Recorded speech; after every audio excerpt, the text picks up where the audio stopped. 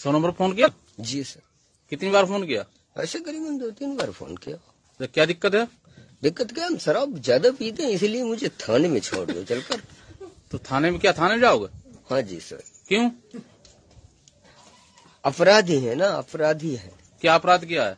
अपराध कुछ नहीं कि बस मदिरा ही मदिरा का ही सेवन करते हैं। तो थाने में क्या मतलब है उसका फिर?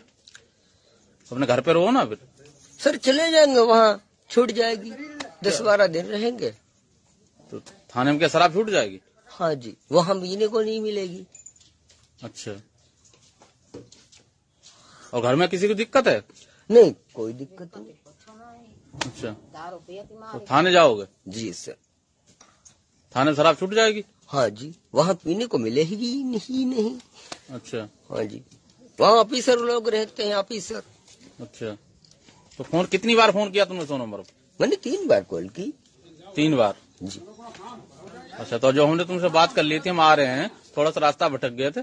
कुछ चलो कोई बात नहीं सर। और दूर भी है दस बारह किलोमीटर? बारह किलो हाँ फुल हाँ? बार। हाँ जी थोड़ा टाइम लगता है आने में। फिर दो तीन जब हम लोग कह दिया हम आ रहे हैं फिर तुमने दो तीन बार फ़ोन क्यों करिए चलो सर गलती हो गई। अच्छा गलती हो गई सोनू। जी सर। अच्छा तो आप क्या चाहते हो? हम चाहते थाने में जाए आज। अच्छा थाने ले चले तुम। जी सर।